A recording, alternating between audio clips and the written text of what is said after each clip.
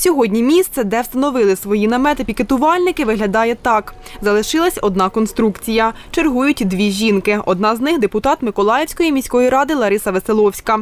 За її словами, людей, які чергували вночі 17 вересня біля наметового містечка, нападники не травмували. Пошкодили три намети та інвентар. Вони громили безпосередньо інвентар, стільці, столи, посуд і самі намети різали ножами. Тобто вони прийшли з заготовленими ножами, і намети, в принципі, були порізані на дрібні шматки.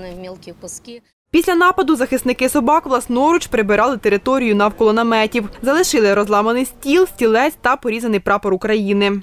Жестоко отношение к нашим символам. Это символ государства. Так нельзя относиться.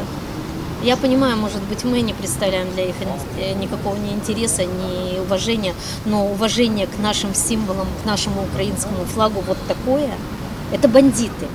Вночі після нападу захисники собак викликали поліцію. Е, Наряд, прибувши на виклик, е, отримав прикмети невідомих, е, відпрацювали прилеглу територію, нікого не було виявлено. Е, На місце, е, згідно законодавства, викликана слідча оперативна група.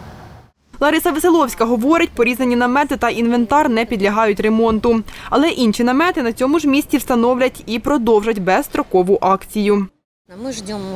Ми чекаємо вже зараз. Нам надішлють намети. Нам Київ допоможе. Волонтери Києва підключилися, сказали, що вони нам зараз пришлють національні намети жовтоукраїнські, щоб ніхто не посмів до них підходити. Речниця національної поліції у Миколаївській області Марина Калина говорить, що випадок внесено до журналу єдиного обліку. Подію слідчі кваліфікують. Вікторія Андрушків, Андрій Заворотній, телевізійні новини Миколаївщини.